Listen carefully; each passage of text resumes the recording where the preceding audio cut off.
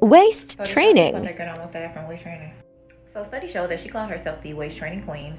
And this picture right here was basically when she figured out that her body was changing for the worse. So she was basically a health and fitness instructor who started her waist training journey when waist trainers was hot. Everybody was doing it, but she only had minimum knowledge, just like everybody else. All the only knowledge she basically had was the knowledge of experience. Now, all her many certificates in health and training did not help in this dang um, on corset training.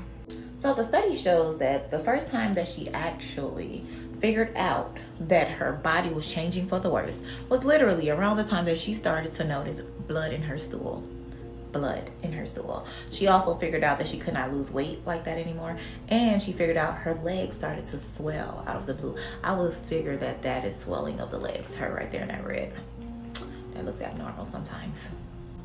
But around that time, her her thighs had became a lot bigger than usual. Yeah.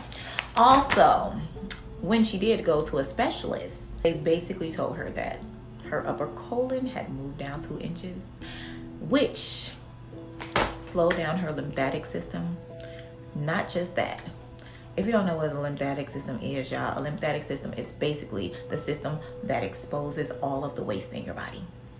He also told her that, hmm, this is the worst part of all. No matter how much water she drank, her body would not process it. She would be dehydrated for the. And she didn't buy cheap water, y'all. She didn't. She bought alkaline water all day, every day. Spent her last dime on alkaline. But let's just let our prayers go out to her. Right now, she's on an H3O2 cleanse. She's praying that the Almighty God realign all of those things. Yep. But until he does, please remember y'all, could have killed me.